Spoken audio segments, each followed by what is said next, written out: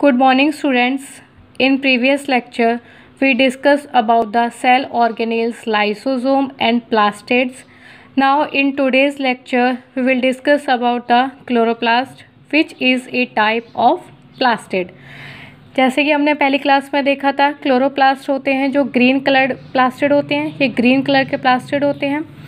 सो first है chloroplast are present in green algae and higher plants जो chloroplast होते हैं, वो ग्रीन एल्गी और हायर प्लांट्स में प्रेजेंट होते हैं। सेकंड है they have a green pigment called chlorophyll chloroplast में एक ग्रीन कलर का पिगमेंट प्रेजेंट होता है, जिसको हम बोलते हैं क्लोरोफिल क्लोरोफिल की वजह से ही इनका जो कलर होता है, वो ग्रीन होता है. They are also involve in the photosynthesis of food जो क्लोरोप्लास्ट होते हैं, वो फोटोसिंथेसिस ऑफ़ फ़ूड में भी इन्वॉल्व होते हैं। फोटोसिंथेसिस की प्रोसेस क्या होती है?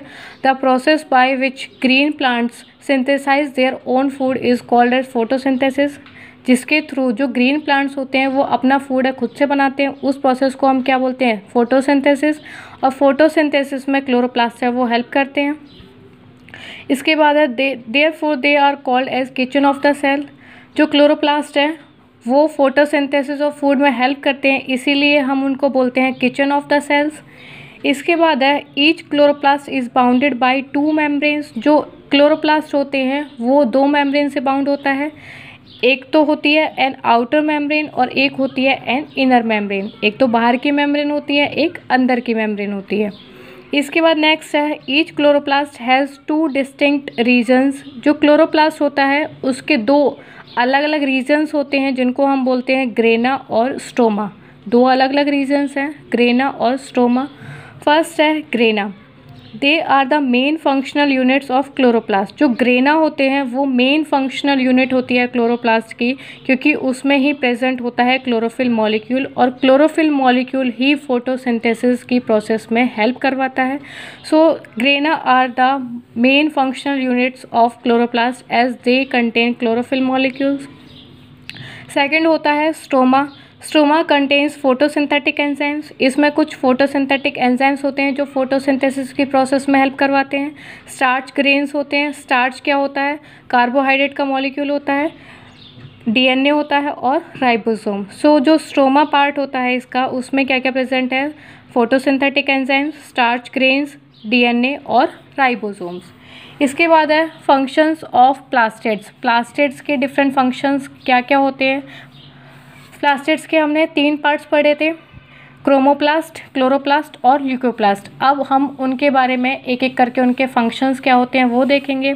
सबसे पहले है chloroplast chloroplast tap solar energy and utilizes it to manufacture food for the plant जो क्लोरोप्लास्ट होते हैं क्लोरोप्लास्ट में क्या ग्रीन कलर का पिगमेंट प्रेजेंट होता है, जिसको हम बोल रहे थे क्लोरोफिल उसका फ़ंक्शन क्या होता है? वो सोलर एनर्जी जो सनलाइट है, उसको ट्रैप करता है कैप्चर करता है और उस सनलाइट को वो यूज़ कर यूज़ करता है to manufacture food for the plant जो प्लांट के लिए फ़ूड है, वो सिंथेसाइज करवाने में हेल्प करवाता है। ये क्लोरोप्लास्ट का फ़ंक्शन होता है।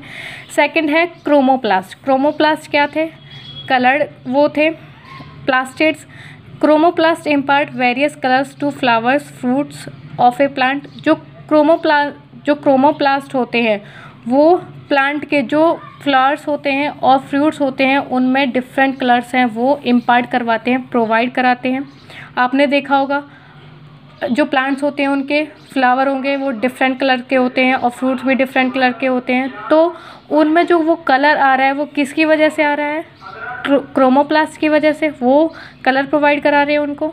इसके बाद है थर्ड होता है ल्यूकोप्लास्ट ल्यूकोप्लास्ट है, ये कलरलेस प्लास्टिड से leucoplast store food in the form of carbohydrate starch fat and protein जो ल्यूकोप्लास्ट है इसका मेन फ़ंक्शन क्या होता है? ये फ़ूड को स्टोर करते हैं और किसकी फॉर्म में स्टोर करते हैं? कार्बोहाइड्रेट कार्बोहाइड्रेट का जो मॉलिक्यूल है स्टार्च स्टार्च का सबसे कॉम्प्लेक्स मॉलिक्यूल होता है, उसकी फॉर्म में ये स्टोर करते हैं फ़ूड को।